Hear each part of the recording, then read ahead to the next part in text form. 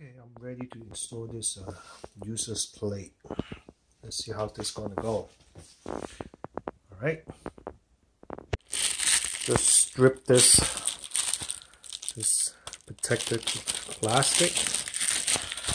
You know, it looks good, and it's gonna be ready to go. Let's see.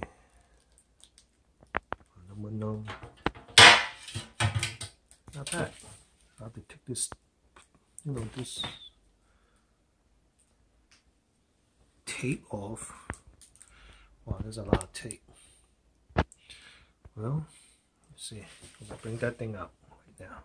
All right so brought this thing out. Gotta clean this area. Trying to slap it on first. Test fit. It looks pretty good okay so well, this is just what I use to clean it. It's good enough. You just spray paint all this gum and then just wipe it. Okay, just finishing install It looks pretty good. I'll test it out to close the hatch. Will it be, you know, any arrow? When I close it.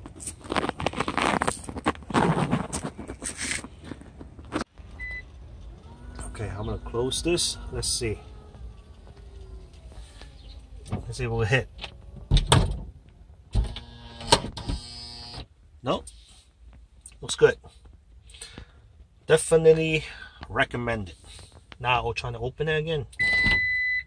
Let's see. See no effect. Looks good. Go for it guys. It's good. It's kind of useless, but I just want to complete my plate combination. Okay. That's good.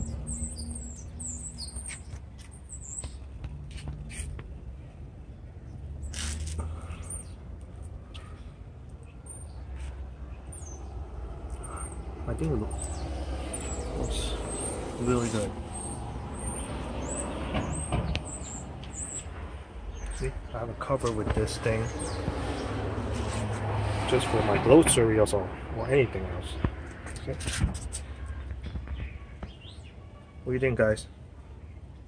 I think it's, I think it's nice. I would, I would, I would get something like that. Sixty-one dollars can't go wrong.